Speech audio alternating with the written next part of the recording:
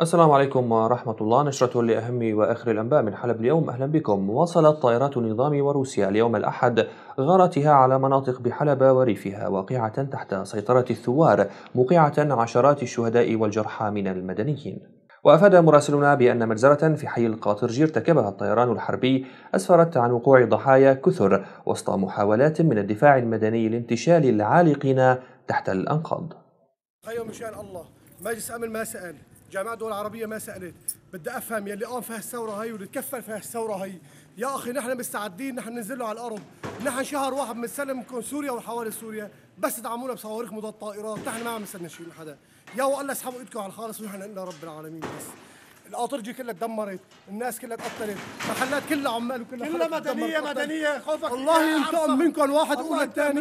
يلي يلي قام فيها الشغله هي وما دعمنا. سوريا ما أصدقاء. الشعب السوري ما له صديق نهائيا لا حدا يقول.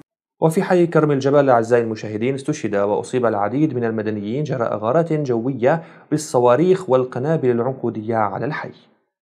في هذا المكان قضى نساء وأطفال وفي مكان آخر قضى عدد أيضا من الشهداء. معظم الغارات الروسية والسورية تركزت على المناطق الشرقية منذ صباح هذا اليوم وحتى هذه اللحظة. الطيران الحربي والمروحي لم يفارقان أجواء مدينة حلب. طبعا حصيلة, حصيلة الشهداء لهذا اليوم واحد وثلاثون شهيدا حتى هذه اللحظة في حي كرم الجبل حيث نتواجد الآن سبعة شهداء قضوا قبل قليل بغارة جوية روسية. طبعا وأيضا القصف المكثف على أحياء المدينة مدينة حلب وأيضا بعض قرى ريف حلب الشمالي والغربي وطبعا طريق الكاستيلو الذي لا يزال حتى هذه اللحظة مقطوع أمام المدنيين. باسل أبو حمزة لأخبار حلب اليوم. حلب. ولمزيد من التفاصيل ينضم إلينا عبر سكايب مدير مكتب حلب اليوم في حلب مصطفى عبد الله. أهلا بك مصطفى. يوم يوم دام جديد شهدته محافظة حلب. ما المعلومات لديك؟ أهلا بك أحمد. أحمد كما ذكرت فعلا ابتدأ صباح اليوم الباكر بغارات جوية عنيفة ومكثفة من الطيران الحربي الروسي وطيران النظام وأيضا الطيران المروحي. ابتدأ صباح اليوم كما ذكرت بخمسة براميل على حي القاطرجي والميسر.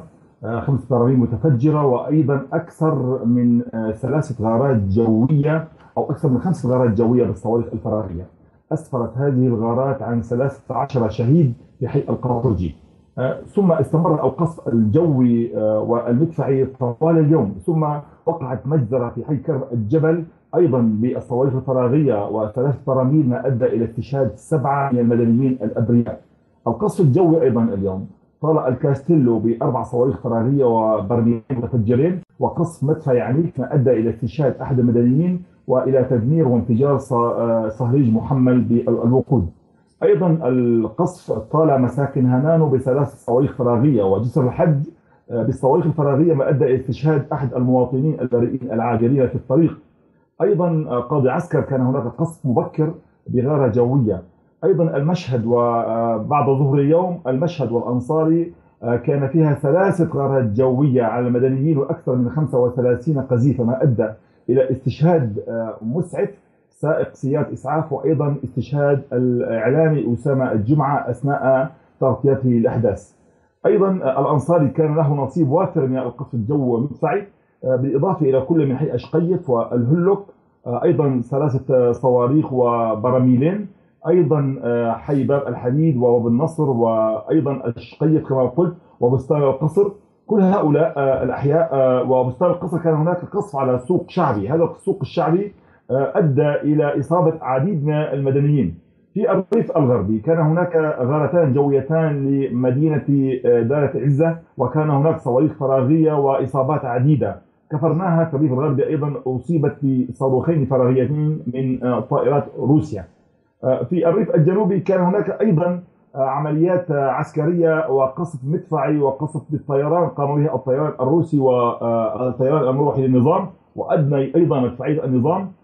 الثوار ردوا عليهم واستطاعوا تدمير بيكابين محملين بالجنود على جبهة القراصي وأيضا تم تدمير مدفع 23 بصاروخ من ذلك. طيب هذا هو الواقع نعم مصطفى آه آه لم نتحدث عن طريق الكاستيلو آه كيف تبدو حركة العبور عليه؟